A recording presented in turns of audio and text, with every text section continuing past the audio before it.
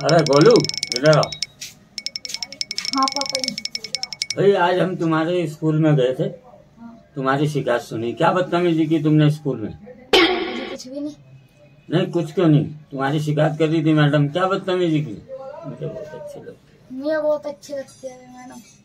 अच्छी लगती है? तो फिर क्या चाहते हो? मुझे शादी करनी है उनसे। उससे शादी करनी? मैडम से?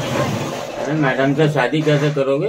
कह रही थी एक दिन कि तुम शादी करना चाहोगे? तो भाई अगर वो ये कह रही थी कि तुम शादी करना चाहोगे वो ऐसे थोड़ी कह रही थी कि तुम मेरे से शादी करोगे ये कह रही थी? पापा मुझे तो उससे शादी करनी है। मुझे तो बहुत अच्छी लगती है अभी।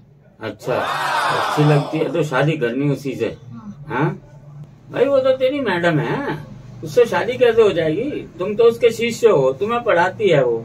वे मैडम मुझे बहुत अच्छी लगती है मैं इसलिए शादी करना चाह रहा हूँ। मुझे घर पर ही पढ़ा देते थे वाह मेरे बच्चे वाह। बड़े दिमाग से काम किया बेटा अभी तुम्हारी उम्र इतनी नहीं है और हम उससे भी अच्छी मैडम से तेरी शादी करा देंगे। तुम अभी कामयाब हो जाओ पढ़ लो लिख लो उसके बाद में भी शादी कराएँगे। ठीक है? ठीक है मेरा बच्चा? पापा ठीक है मैं पढ़ते डॉक्टर बन जाता हूँ फिर उसी मैडम से आप मेरी शादी करा देना। हाँ ठीक है कोई बात नहीं फिर करा देंगे। ठीक है बेटा?